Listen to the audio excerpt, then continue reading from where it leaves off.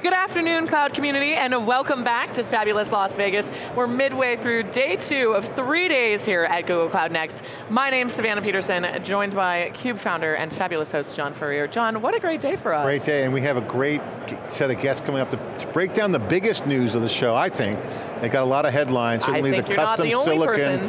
Axion uh, from Google, real, real signal to the market that more horsepower is coming and the innovation for the developer, so it should be a great segment. Yeah, it's going to be an absolute great segment. On that note, Mohamed and Mark, thank you both so much for being here. Thank you. Thank you.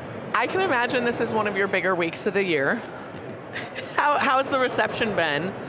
Super, super exciting. I, I yeah, no, I mean, look, we're, we're really excited about this announcement. I think the customer reaction, the partner reaction, and the ecosystem reaction has been um, incredibly positive, so we're really excited to talk more about this uh, with you today. Yeah, all right, so let's dig in. Sure. Just in case folks haven't read the news from yesterday, what did we announce?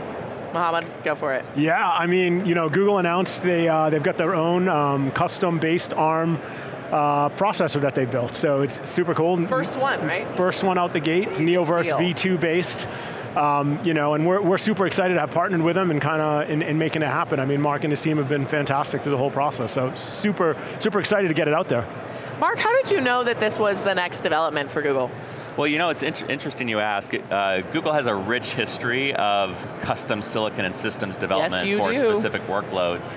Uh, you know, five generations of TPUs, three generations of video coding units, multiple generations of processors that go into Pixel phones. And so um, we were really excited to apply that sort of engineering prowess to, in many ways, a bigger space and a bigger problem uh, which is general purpose data center computing, right? And so that's why we're, we're super excited about um, Axion, and we think it can solve a whole new set of challenges uh, for our customers.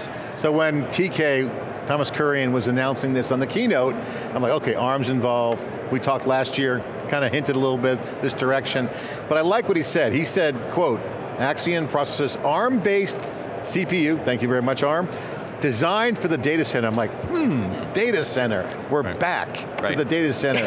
so, you know, cloud obviously had its success, Google Cloud, but the role of the data center is changing significantly. What's the motivations behind some of these design criteria with the new custom processor? Again, general purpose for the enterprise, I get that, but how is the enterprise changing? Because we're seeing AI systems emerge. Mm -hmm. So it's not your yesterday's data center, it's a different data center. Of course, right. Google is in the data center business, you have data centers. So can you guys share the what this means for the data center redo or 2.0 or 3, whatever version we're on. What's the, the new data center look like? Yeah, I mean, it's super interesting, and I think, you know, the, the reality is is that the data center is sort of, it, it, it's turning into this, you know, it's, it's trying to deal with all these issues around performance, around sustainability, around efficiency, you know, these data centers are built, there's a certain amount of power that's brought into them, and you're trying to cram as much performance and as much efficiency out of them as possible so you can kind of keep up with, you know, AI and all these new workloads. And what's interesting about what, what, um, what Google has done is by you know, building silicon from the ground up, and in this case, general purpose compute, what they've been able to do is, is start to optimize what that infrastructure looks like so you can get the most efficiency out of it, you can get the most performance out of it. And you know, ARM for our part, I mean, we're a 30-year-old company, right? And, and we've been building efficient CPUs for a long, long time. And so, yeah, yeah. you know, this is kind of right in our sweet spot in terms of enabling them to kind of well, go off and do that. And not, not to put a plug in for ARM, but I mean, we've been tracking this for over a decade. The energy, energy aspect of what you guys have done also has been a big notable thing. That's a big part of the, the constraint now is power and, and, and efficiency and to get the most performance without the least amount of energy exerted. Absolutely, so you know, building on what Mohamed said, um, at Google we really design these systems based on a strategy we call workload optimized infrastructure. And basically what that means is we look at the needs of each and every workload, and then we designed it at a systems level across compute, storage, and networking to meet the unique needs of each and every workload. And to your earlier point, we're seeing tremendous growth and customer interest in scaling this next generation of applications, many of which are powered by AI. Now when you do that, uh, in most cases those applications also need to have general purpose compute that goes with them, right, to serve all the other aspects of, the, of those applications. And so um, performance becomes really critical, uh, and energy efficiency yeah. and cost becomes really critical. And so we're really, I think, breaking new ground here together from that perspective. The Axion processors will have 30% higher performance than the fastest ARM processors available in the cloud today. They'll have 50% higher performance than comparable x86 um, generation processors and 60% better energy efficiency than comp comparable uh, x86 based instances. So and these benefits are huge if you think about our customers say, looking to scale, scale their workloads. And yeah. on the nanometer side, what's the roadmap look like for the processors? Yeah, so I mean, we're not getting into the specifics of nanometers with the chip, et cetera. It's more about the, the, okay. the benefits that we can deliver our customers here. But the, the, the, thing I will add is that um, that, that systems level point is really important, right? And so you know, we take these fantastic Axion processors, but then we combine them with other elements of Google Cloud. For example, we have our Titanium offload system. And so we're able to offload some of the infrastructure operations to those titanium uh, chips and systems, and that enables the full capabilities of the Axion processor to be able to use, be uh, used for those workloads. And so it's these types of things that really uh, ultimately deliver So you guys are essentially doing some system design architecture around the role of compute for say, because you got HPC and AI have come together, right? So we've seen yeah, that with GPUs sure. and TPU configurations. Yeah. So we're looking at kind of a melting pot of re-architecting. Yeah. Can you guys share Yeah, and, and, that's, and that's such an important point, right? I think the point that Mark made is such an important one, that, that you know, what we're seeing is that, you know, they, the, folks like Google, what they're doing is they're, they're re-architecting the entire infrastructure, the entire data center to really think about how do I optimize for my workloads. Nobody knows them better than them, right? How do they optimize the entire system?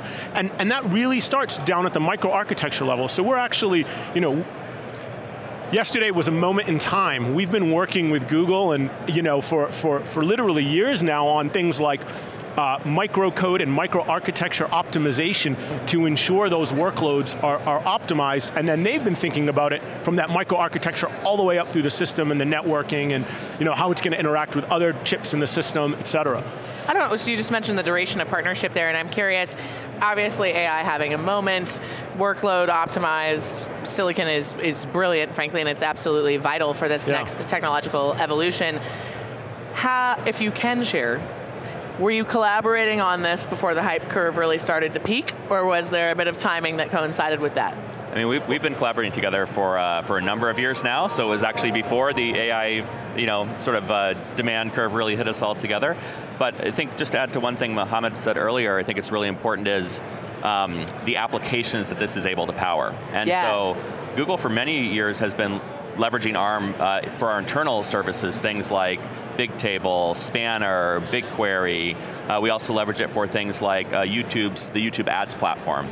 And so we have experience there about how to optimize end-to-end -end those software services on top of the infrastructure, and now we're super excited about being able to supercharge all of those to the next level with the Axion capabilities that we talked about um, before. So it's for our internal use within Google, but then the fantastic thing is we also expose that as a cloud service to our external customers so they can get the same benefits for a broad range of general purpose applications. That's awesome. Great, great partnership with ARM. ARM has some advantages. They got the mature OSS and the ecosystem. Yeah. But before we get to that, I want to go back to the end-to-end -end real quick if you don't mind.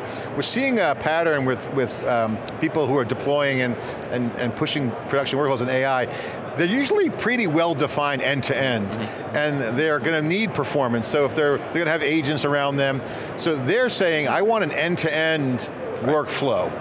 It's pretty baked. Right. It may change a little bit, but not much. They know what they're going to need. Is that a good use case for this kind of custom I won't say custom, oh, custom silicon, custom infrastructure. You guys are looking at this as providing a solution to that, right? Is that oh, yeah, of absolutely. So if I take a specific example, right? Let, let's say you have an existing application and maybe that application is serving up some content to your users, right? Fantastic. Now, you might want to add, add an agent into that application or add some new generative AI service into that application to sort of supercharge its capabilities, right? Now when you do that, you're going to drive a ton of additional end customer demand for that service. What does that mean behind the scenes for the infrastructure? Well, um, you want to have a common set of cloud services and platforms, you want to be able to consume them through uh, Kubernetes engine like GKE, but then under the covers, be able to power that general purpose compute with great capabilities like Axion, and maybe power the AI part of it with our cloud GPUs or cloud TPUs.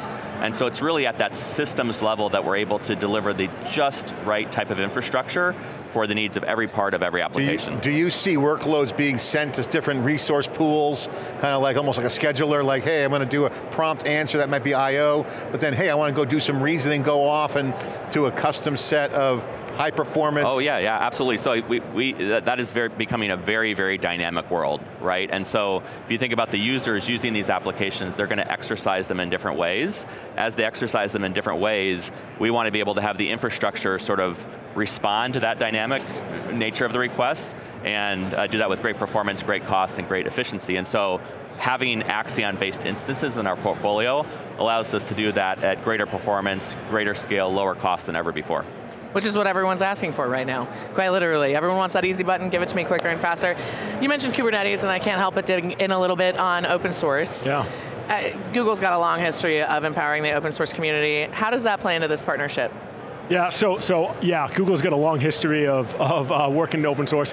ARM's got a long history in working in open source as well. If you look at the infrastructure space specifically, we've literally been investing in the open source community for well over a decade now. Google's been investing alongside us for a good chunk of that time as well. And, and what's, what's really interesting right now is that you know, we started off over a decade ago trying to get that ecosystem going, but now we're really at a point where tens of thousands of enterprise users are actually using ARM-based instances every day. We've got you know, hundreds of open open source software packages which are you know, readily available and ARM's a first class citizen and, and is being, um, you know, uh, uh, uh, support ARM. And so, you know, really we're at a point now where the, where the, you know, the flywheel has really started spinning in a, in, a, in a pretty massive way. So it's a really interesting time to be part of that, part of that ecosystem. We actually believe it's one of our, one of our strongest attributes, you know, that coupled with the idea that you can take technology from us that's performant and efficient and then customize it at a system level to go off and build your, uh, you know, whatever solution and, and, custom tailor it to your workloads and your infrastructure. So, yeah. so machine learning apps, that brings up the whole machine learning apps. Yeah. We heard on the cube here yesterday, um, a lot of talk about ML ops. As yeah. you get more generative AI, you're going to still have more model operations, whatever you want to call it now, but ML ops is becoming essentially AI ops, whatever you want to call it. So as these apps get built, you guys offer a compiler, I think, Open X, uh, Open XLA. Yes. That's in your tool chain. That, you, did you guys open source that? Is that is that a ARM I don't project? know that we open sourced it specifically, but we're, we're, certainly contributors in lots of different areas, including OpenXLA is an area that we participate in. Okay, so my question is developers. If I'm a developer, I want to build an Edge app. Savannah and I were riffing on this this morning, like, okay, if I want to build a lightweight Edge app, but I want to need to do inference and all kinds of cool stuff, how does this processor fit into that picture?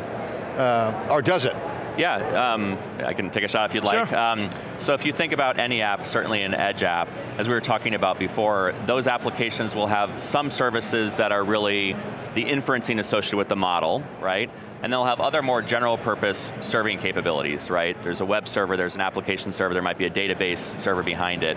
Um, so now you think about serving that composite application, you want to have just the right infrastructure behind each of those elements of that application. And so um, within Google, we have great support for uh, GPUs and TPUs that are fantastic for serving those models in a very high performance efficient way. We support OpenXLA together with our partners in ARM and many others as part of that, so it's really critical.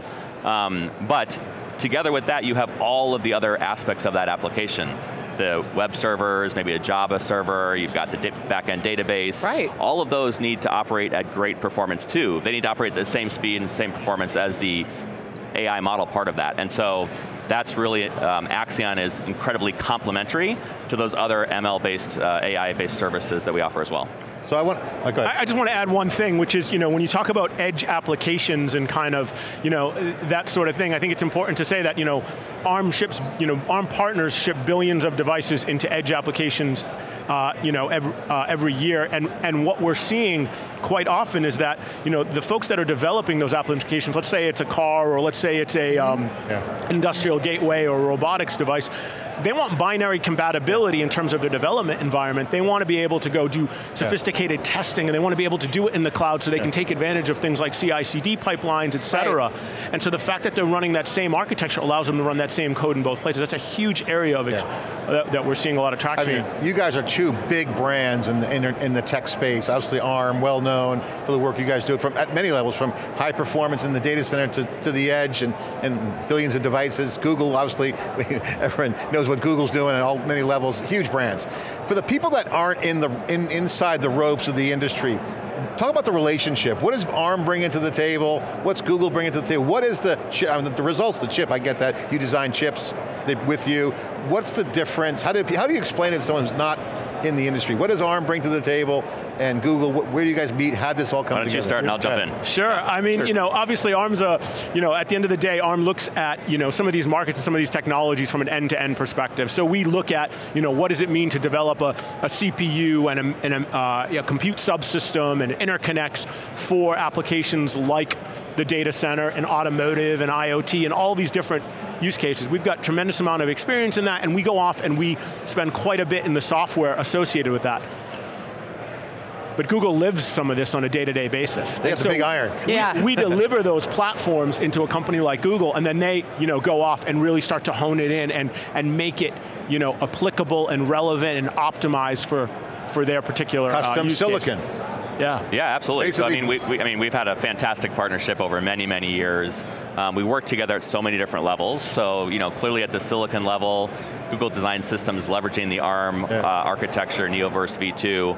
Um, but it goes beyond that, right? It's also at the software layer, as we were talking about before, um, which is really, really critical to our customers because it speaks to time to value, right? If you can take an existing application, an existing ISV that's already been optimized for ARM, and now you can easily bring it into Google Cloud and run it on Axion and get the benefits, that's a huge time to market value, and that is based on the great partnership that we have together at the software layer.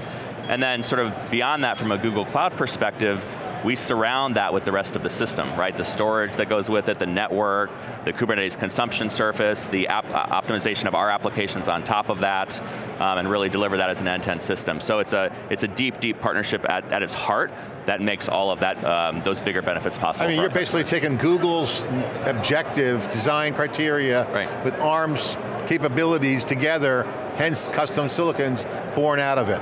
So it's basically Exactly. purpose-built for your- Exactly, your, and, stuff. and if you think, as you mentioned before, if you think about Google, we have experience building and operating and optimizing applications for consumers that are leveraged by billions of consumers around the world each, right? And so that expertise we have around what it takes to run applications at large scale, we're able to leverage that, take that, and use that as we design together what, you know, what Axion needs right. to look like and do. So now I'm like, okay, what's in, what's in it for me? Performance, what are some of the benefits going to come from this? How do you guys see this? Obviously huge investment, huge decision, huge development. Yeah. What's going to be the output of this? What's the range of, of scope to benefits for us? I mean, maybe I, I can start. Um. So uh, first Yeah. we think this is going to be huge for our cloud customers, right? They are looking to scale their business, they're looking to scale their applications to support that. When they do that, they need to do it with great performance, with cost effectiveness, because that drives the profitability of their business, and energy efficiency is incredibly important. And so with Axion, we can enable that value to them incredibly rapidly because they can bring all their existing ARM app, uh, optimized applications into that environment incredibly quickly. So we think this is going to be transformative for a broad range of our cloud customers. And then also for us internally within Google, we're going to be leveraging this for, as I mentioned before, for our uh, consumer-based services. So we're super excited about those benefits that we can deliver. Yeah, I mean, I think Mark hit on it. I mean, I think the, the biggest things are, you know, if you think about what, what enterprises and what users are looking for, they're looking for performance, they're looking to get the job done, and they're looking to go off and hit some of those uh, efficiency and sustainability goals. And, and really what Axion and, you know, uh, leveraging that, that ARM-based Neoverse um, platform is, is, it's really delivering, so. I, I think that's so powerful, and I think that's so important. Here we are always trying to do things faster and adopt, and now we've got massive amounts of data. If we're not doing it more sustainably and more efficiently, we're running ourselves straight into the ground. So it's such a great synergy between both companies. Closing question for you. Now that it's out in the wild, and you've made the big announcement, years in the making, which is very exciting, what do you hope that you can say at the next Google, Google Cloud Next about how it's being used in the wild? Go ahead. You want to take it? Uh, I'll go first maybe and Sure. jump in. I love how you both deferred there. You're like, I need a second. so, um, you know, first of all, I'd say, look, we're really looking forward to launching our Axion-based instances later this year, getting those into the hands of our cloud customers. If you fast forward, let's say a year from now to next next year, I'm looking forward to having hundreds, thousands of customers being able to share the benefits that that provided to them, to their businesses, to their applications, and how it was really enabling them to transform the value they could add to their customers. So I'm really looking forward to that customer adoption. I think the feedback we've already gotten from our early adopter customers, um, companies like Elastic, like Snap, like many others, has been extremely positive. And so we're looking to build on that and of course uh, help many, many more customers going forward. Yeah, and, and I would just add to that, I mean, I think it's really about those specific use cases, about the specific customer success stories that have come about, and that you know we can stand up and say, hey, this came about and this customer achieved that level of success, they had that level of efficiency gain, that much better performance, they could complete their job, they saved this much. You know, it's, it's those sorts of things that I think, um, you know, I'm really looking forward to sharing with everybody. Great stuff. Yeah, really great stuff, and what an exciting time. Mark, Mohamed, thank you both so much for being here, and congratulations again on what will undoubtedly be a legendary next for you. John, always a pleasure yeah. with your insights, and thank all of you for tuning in, wherever you may be viewing today. We're here in Las Vegas, Nevada, at Google Cloud Next. My name's Savannah Peterson. You're watching theCUBE, the leading source for enterprise tech news.